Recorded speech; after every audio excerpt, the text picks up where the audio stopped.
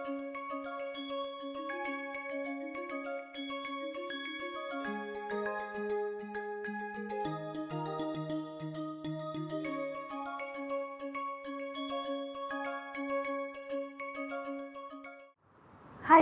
welcome to the session on environment human economy exploring links and model.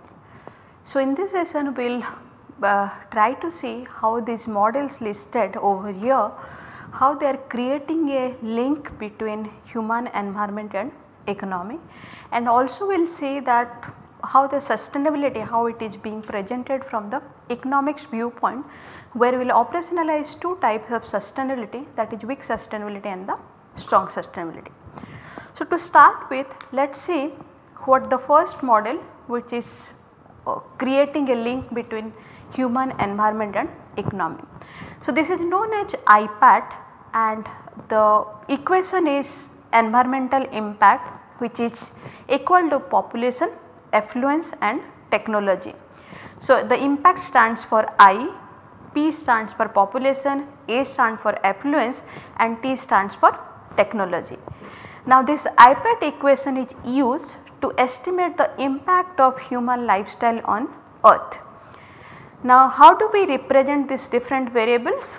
Population, this gives us the size of population, affluence, lifestyle related choices, mostly the consumption habit of an individual which further is guided by the fact that how much the individual earns or the income and technology is that what is the advancement, advancement in technology these are represented through this variable technology. So, the critics over this model is that everyone finds that the, the impact or the problem altogether is oversimplified through this IPAT equation. Now, let us see how do we um, how, how, do we operationalize this or how we uh, understand this um, equation in the context of different countries. So, if you look at the entire impact is divided into 3 parts that is part 1, part 2 and part 3. We consider the part 1 impact which comes from the first world that is highly developed nation, part 2 is from the second world that is transis transition nation and third world part 3, part 3 is from the third world that is from the poor nation. Now let us see what creates the impact in first world.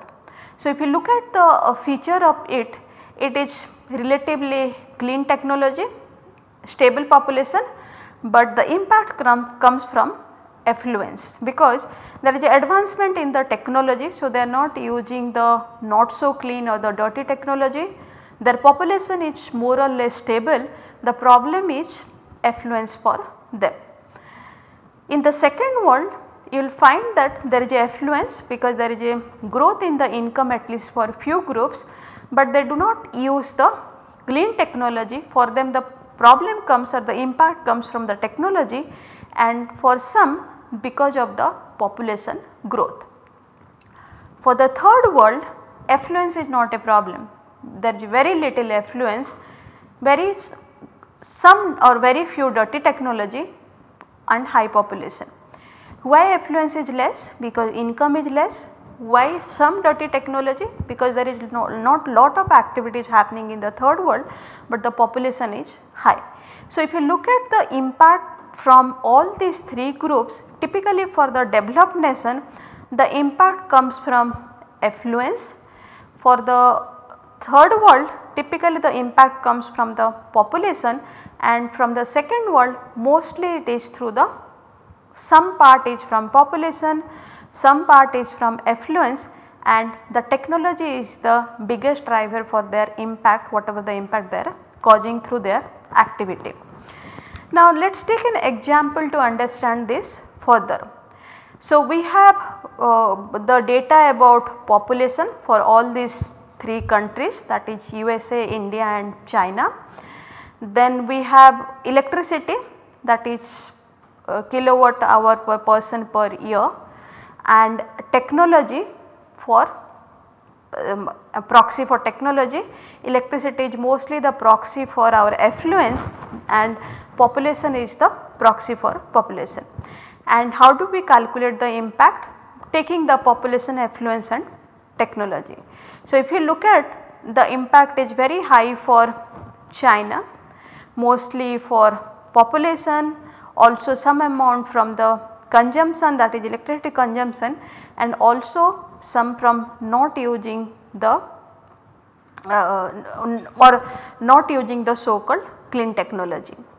And even if, if you look at the consumption is very high because of the population and because of this technology the impact from USA is less. This is just a hypothetical example to understand that what is the impact of population affluence and technology on the environmental impact. Now going to the next model to understand this impact or to understand the linkage between environment, economy and human we will use the Kaya identity and it is developed by Japanese energy economist Kaya and the equation relating factors that determine the level of human impact on climate in the form of the greenhouse gases. And here the total emission level can be expressed as the product of 4 inputs population, GDP per capita, energy use per unit of GDP, carbon emission per unit of the energy consumed. Now the identity is expressed in the form of f which is a function of p, p is the proxy for global population, g that is world's GDP and E is the global primary energy consumption and F is the uh, global CO2 emission from the human sources. So, simplifying this, this should be population multiplied by or GDP by population multiplied by energy consumption by GDP multiplied by the global CO2 emission from energy. So, once we take this identity, once we take this equation, let us understand that why have you taken these factors into the identity. As we know population is important and why it is important because more people use more energy use and more energy use the more impact. Then the economic expansion is measured by GDP per capita this plays an important role as bigger economic is more income, more income is more consumption and more consumption is the greater use of energy. Then the energy intensity terms typically where we take the technology that is the expectation to use less energy to increase GDP by the additional dollar and why it is expected that we will use less energy because there would be develop a development of new energy technology that is in the form of the energy efficiency and um, new energy sorry this is the energy technology which will require less energy to produce the product and also there would be improvement in the efficiency of existing energy technology. And the last term why it is important because the carbon efficiency. Now what is expected over this uh, variable that there is a expectation that less carbon emission per unit of energy production due to switch over to the renewable energy sources which is no carbon, non-fossil fuel based energy alternatives and improve the carbon efficiency of the existing fossil fuel sources. So, mostly two things will increase the carbon efficiency that is one increasing the carbon efficiency of the existing fossil fuel sources and also looking at the renewable energy sources. Now getting into the equation CO2 emission is again this is uh, we have taken CO2 total product or total population then GDP and also the use of the energy consumption and also the carbon content in the energy.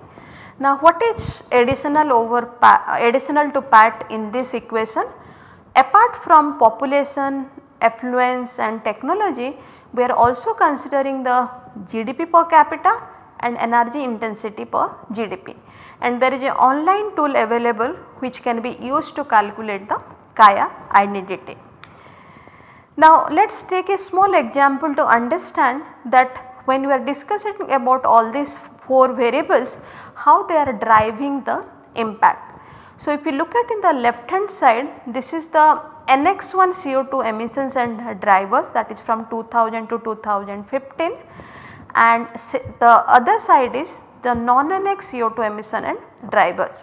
So, if you go into the first slide the CO2 emission is increasing and if you look at now what is uh, driving the CO2 impact mostly the driving impact is GDP per population and also what is possibly reducing the impact then we can say that what is the CO2 content per energy or we can say that that is the total energy with respect to the GDP. So, mostly the energy intensity and the carbon in uh, carbon efficiency they will decide what would be the impact of it and in this case the affluence component or let us say the consumption component that is GDP per population they are uh, they are typically deciding more about the impact that is created by the country. Now if, if you are coming to the non-Annex CO2 emissions and driver, so here if you look at the population is increasing, there is a increasing trend from 2000 to 2015, the CO2 emission is also showing a increasing trend. And but possibly what why it is increasing? The major factor is again GDP per population. Uh, but also we can see that there is a uh, the more prominent over here is that we are not using in case of non-Annex country we are not using more energy efficiency kind of technology and also the types of fuel we are using that is more of the carbon. So, this Kaya uh, decomposition it can be done country specific, it can be done in the different scale, sometimes it is done in case of sector and also sometimes it can be done in the case of the industry, it can be done in all these scale. Now going to the third model what we are going to discuss today is the environmental Kuznets curve. This is from a, this is typically considered as the most important uh, model to understand the relationship between the environment and economy. Now what it shows? It shows a systematic relationship between economic growth and environment and this hypothesis was developed by Simon Kuznets in 1950 and 60. So initially this environmental Kuznets curve, this Kuznets curve was mostly to uh, study the relationship, the study about the income inequality. At the later point this hypothesis added the environment over this and this is known as the environment Kuznets curve. It states that country's environmental trend, uh, uh, country's environment tend to degrade as the country grows rich and after the turning point the quality of environment begins to improve. So, if the country is going through the growth phase typically you will find that the growth phase had been characterized as initially there is a pre-industrial economies then the industrial economy and finally when the sectoral shift happen or the structure of the economy change from the industry to uh, service then the entire growth is based on the service sector. So, initially growth is based mostly on the agriculture and partly it is industry then the, it is based on the industrial activity and then it is based on the service sector activity. So, according to um, this environmental Kuznets curve initially when the growth happens typically with this the environmental degradation also happens. Once it reaches the turning point beyond this whatever the growth happens that leads to decrease, in the environmental degradation or we can say that environmental quality increases. Now what is the logic of this EKC relationship? So in the first stage of industrialization pollution grows rapidly because high priority is given to the material inputs. The typical example is that at that point or the focus of the economy at that point is them how to create more employment opportunity, how to create more economic opportunity rather than looking at the activity which is give us clean air or clean water. So, obviously whenever the growth happens at the initial phase you will find that there is a more importance to income but also it is creating more degradation. This, this rapid growth typically results in greater use of natural resources. One is you are using resources also the emission of pollutant will happen because we are not giving more emphasis to the cleaner technology or the better resources which in turn puts more pressure on the environment. But you cannot expect much over here also that people are poor to pay for the abatement or possibly they, they will just disregard the consequence of the environmental the so called environmental consequence of growth. But at the later stage of time when the industrialization happens as the income rises people value environment more. Regulatory institution become more effective pollution level declines. Let me just give a small example from the individual perspective. When we earn more or when our income increases we try to consume more then we see that whether this is environmental friendly or not. So, in this case we see that initially with the increase in the income, increase in the growth we try to consume more rather than try to consume more environmental friendly product. But when our income increases further we can when we can afford to go for environmental friendly product then only we buy the environmental friendly product. So, at the initial stage as an individual we are also ignoring the, in, uh, the consequence the environmental consequence associated with our consumption. Now as the economic development accelerated with the intensification of agriculture and other resource extraction? At the take up stage the rate of resource depletion begin exceed the rate of resource regeneration and waste generation increases the quantity and toxicity. So at the higher level of development these are the things happen. Structural changes towards information intensive industry and services that is more towards leaning toward the service based economy, increase the environmental awareness, enforcement of the environmental regulation, better technology and higher environmental expenditure and all this results in leveling off and gradual uh, decline of the environmental degradation and that is the reason we find that our environmental Kuznets curve decreases or let us say environmental degradation decreases or environmental quality increases. So, as income moves beyond EKC turning point it is assumed that transition to improve the environmental quality starts. So, what is a natural process of the economic development? From a clean agrarian economy to a polluting industrial economy and finally to a clean service economy. So, let us explain this little bit more with respect to the different stage of development. So, typically this is a developmental trajectory for a single economy, but when we take all the economy together mostly the transition will not the same for all the economy. So, typically this is a development trajectory for the single economy that grows over a time for a from the agrarian economy to the industrial economy and finally to the service economy. This, is, this can be also tested empirically through the cross country cross sectional data which represents the country with different low middle high income groups and also corresponding to their emission level and assuming all countries follow one EKC then in any cross section of time it should be observed that few of the country they are responsible for the increasing part of the Kuznets curve that is some countries are poorly shaping the initial stage of EKC. Some of the developing countries they will be responsible for the peak that is approaching towards the peak or start to decline and the other rich produce at the falling stage of EKC. but this is just a assuming that which country will fall under which group. Initially possibly since the developing country, since the poorer country they are not using more of the resources they will not contribute more. But for the transiting nation for the developing country when they produce more use more of resources they will contribute to the degradation part but when their income increases growth increases they will also contribute to the the decreasing part of the EKC and developed country although it is assumed that they will always contribute to the decreasing part of environmental quality, but there is also evidence that they are the one also who comes contribute to the peak part of it.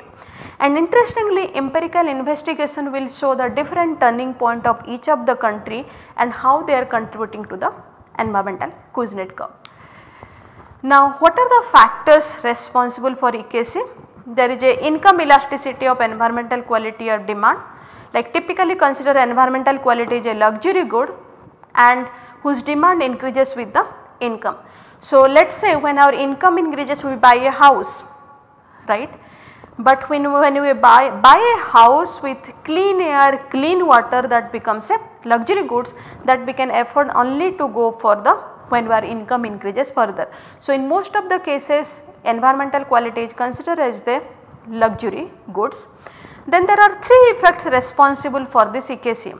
Scale effect, pollution increases with the change in the scale of the output, composition effect as income increases relatively more demand and output gradually shifted to the cleaner sector. The composition means we are moving from agriculture industry mix to the industry service mix where the service sector contribution is high. Technology effect with the high income we can give more emphasis on technology and we can use better technology to get rid of the environmental problem.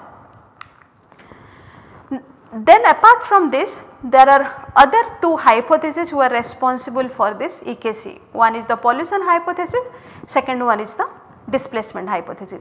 What is pollution heaven hypothesis? It argues that farm seeks to avoid the cost of stringent environmental regulation and high energy price and that is the reason they locate their production into the country when environmental norms are the laxer. And what is the net outcome? The net outcome is that even if there are not much capability with the developing country where the environmental norms are little relaxed, you will find that more impact is coming from there.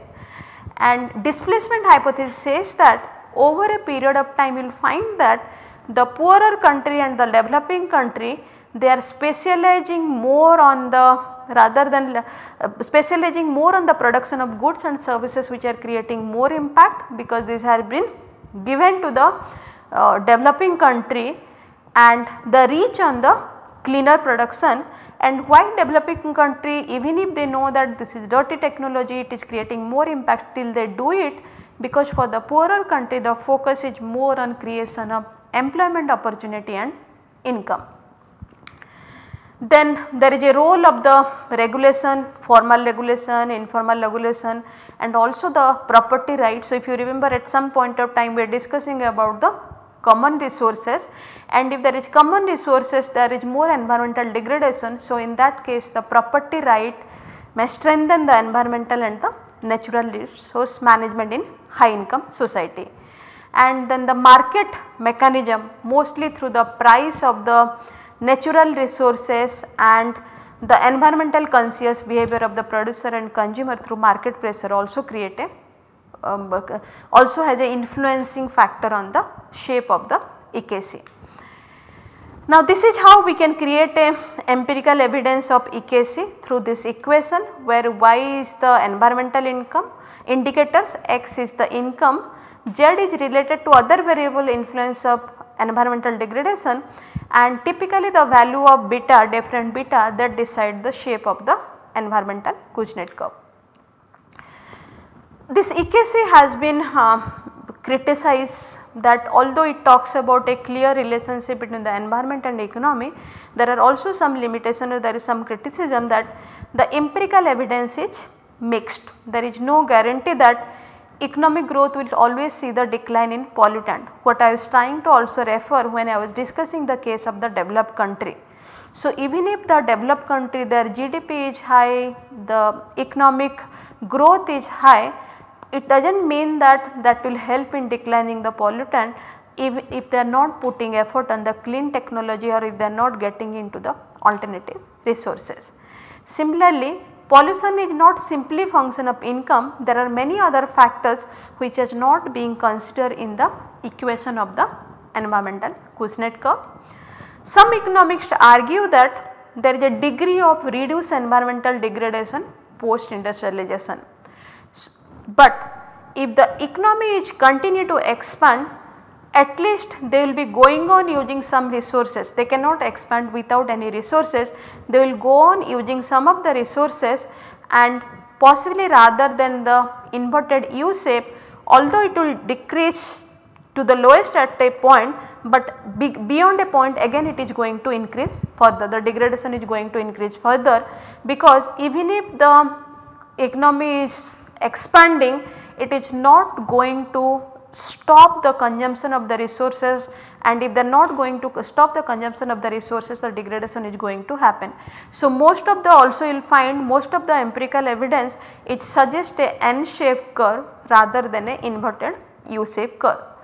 Currently country with highest GDP have highest level of CO2 emission.